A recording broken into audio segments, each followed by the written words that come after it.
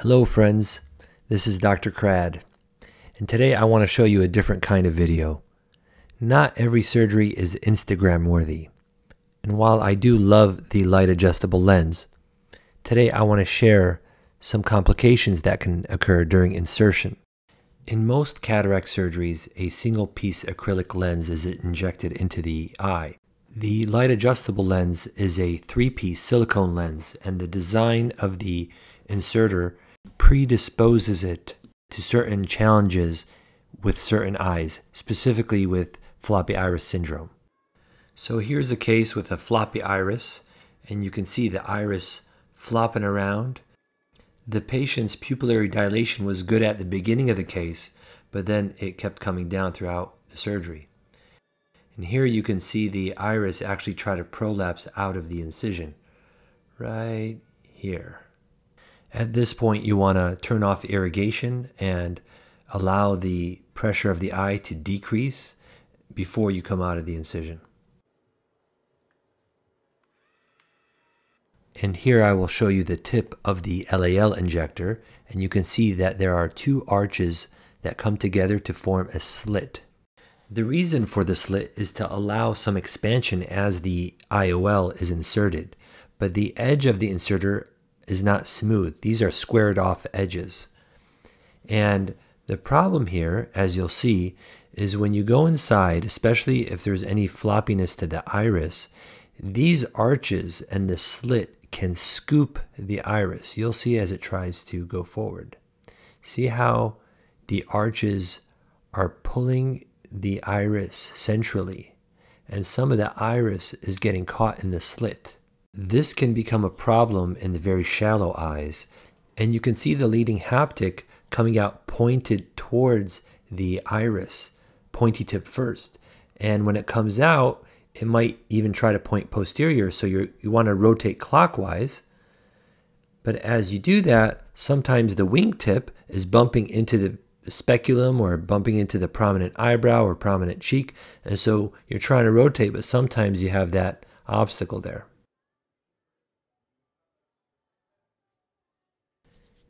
The optic springs open very quickly. That's the nature of silicone optics. Now that the leading haptic is in the bag, you can use any instrument to dial it in.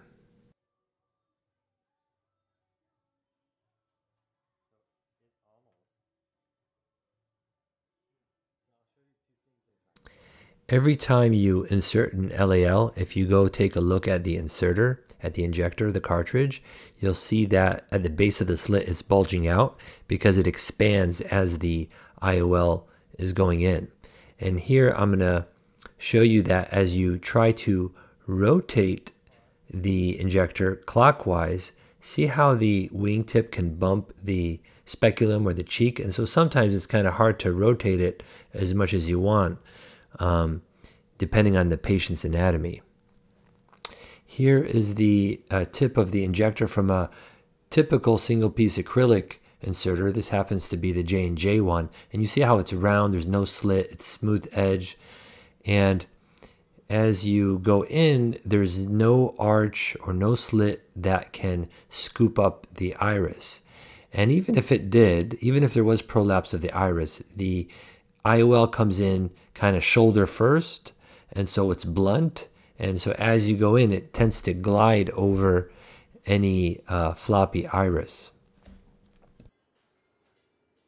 Here I'll show you another case where somebody had some floppy iris. And this is the single piece acrylic injector. And as the inserter is put in the iris wants to go inside the injector right? But because the leading part of the IOL and haptic it, they are blunt, they can just glide right over. So here I'm starting to insert and it will just glide right over. It won't pierce the iris. The iris really doesn't get in the way.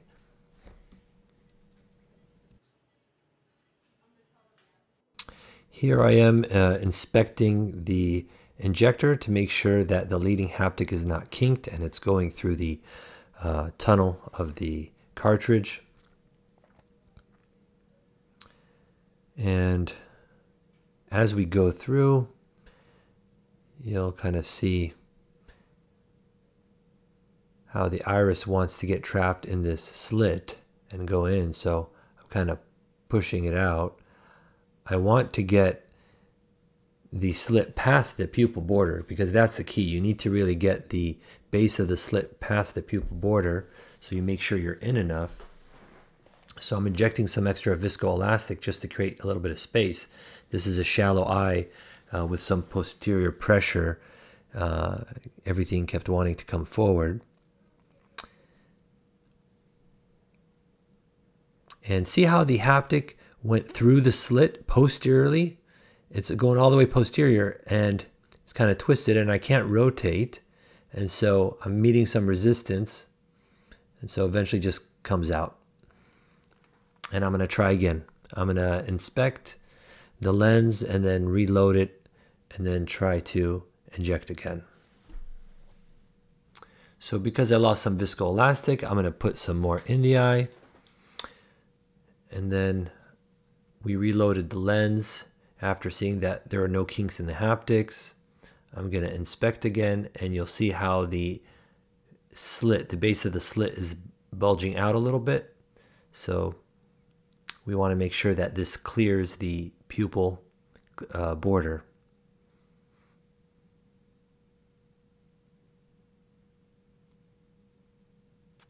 So I, I get it out of the way there. And I insert it, make sure that it's clear. I'm trying to rotate clockwise a little bit. You see the speculum move a little bit because it's in the way. But fortunately, the leading haptic is in the bag properly. And now I just have to dial this lens in using a second instrument. Good. Here's another patient with floppy iris. The pupil had started out dilated better than this, but then throughout the case it went down. And the iris tissue is getting caught in the slit of the injector. So you rotate it clockwise to make sure that the leading haptic clears the iris. And then you just have to dial it in with a, another instrument.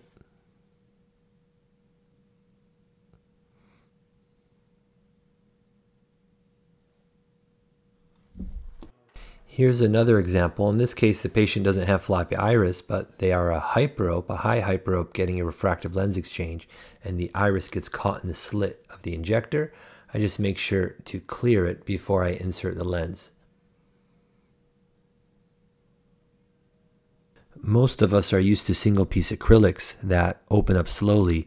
When you first see the silicone optic pop open, it's uh, it takes some getting used to, that's for sure.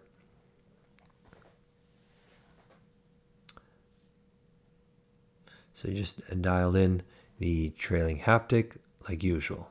So the reason I recorded all these insertions of LALs is because something really bad happened to me in one of my cases. And here it is. As you can see at 6 o'clock, there's an LPI. This is a shallow eye, and there was a lot of posterior pressure with iris tissue prolapsing through the injector crowding the leading haptic and I didn't realize it but the leading haptic pierced the peripupillary iris tissue. I had the nursing staff take a picture because at this particular center they don't have recording equipment and it was a day that I just did not bring my own camera. So I had a couple options of how to deal with this. Either dial the lens clockwise and rotate the trapped haptic out of the iris, but there was so much posterior pressure and shallowing of the chamber, I was worried that while rotating it, I would tear the capsule or tear the iris root. So I decided to just use intraocular scissors and snip the trapped iris tissue since it was only a small amount by the pupil border. This is the way the eye looked after surgery. This is with the pupil dilated. It's much more noticeable when the pupil is not dilated, especially in this light colored eye but I could not suture this at the time of surgery because I needed the pupil to dilate for the light adjustment treatments. Now I figured if the patient had symptoms later, I can go back in after the light adjustments and put in a suture to round uh, this pupil and close the gap. Fortunately, the patient did very well.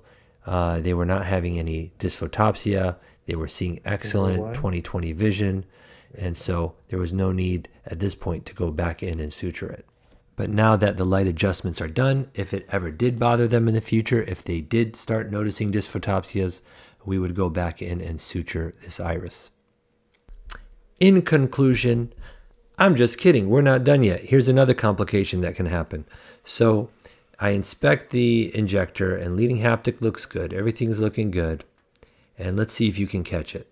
All right. So notice the leading haptic is pointing posteriorly, which is not ideal. So rotate it. Do you notice it? If you didn't notice it, you're going to notice it now. Look at that. Kinked trailing haptic. So this can happen two ways. Number one, the tech, if they did not put the trailing haptic up and out of the way of the plunger during loading, or if they did put it properly, but as they advanced the lens, they hesitated, they reversed the plunger and then re-advance the plunger, that would be enough to trap the trailing haptic underneath the plunger. So it's very important that when your tech or you you are advancing the plunger, you do not reverse and then go advance the plunger again. You will kink the haptic. And so here I am debating, do I cut this IOL out? Do I try to straighten the haptic? And let's see what I end up doing here.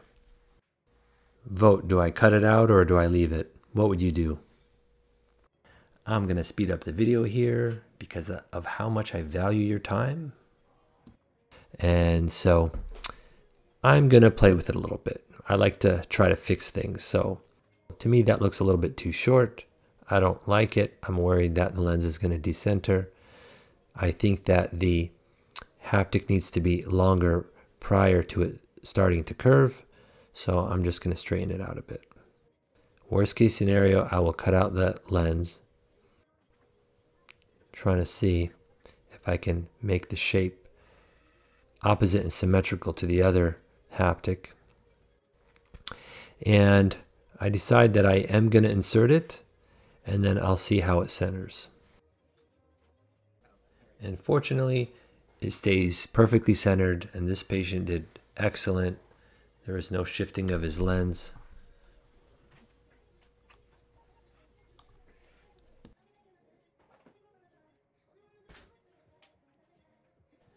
But we're not done yet. So here we go inserting a LAL and initially it starts going forward. But if all of a sudden it stops, yet it's still rotating, then your technician just did not lock the cartridge in. So there's a little dial that you lock the cartridge into the inserter and that was not locked. So as I was injecting, the whole cartridge was, cartridge was coming out. So now we reloaded the lens and locked the cartridge and then it went in normally. So that's something else that can happen. I hope that by sharing these challenges I've had, this could prevent a complication in your patients. My takeaway message is to make sure that the slit, uh, the base of the slit, passes the pupillary border before you inject the lens. And so you have to insert the uh, injector fairly far into the eye to clear the pupil border. Make sure that your technicians, if they're loading the lens for you, that they do not trap that trailing haptic underneath the plunger. My wish list from RxSight would be that the next iteration of the injector has smoother edges, not like a square edge. I think if it's smoother, it won't get caught uh, in the iris tissue. If they can avoid a slit uh, altogether, that would be fantastic. Um, I wish it was preloaded. I wish that the leading haptic can come out curved. Obviously, with PMMA, it can kink, so they might have to consider a different material. Thank you so much for watching. Until next time, peace.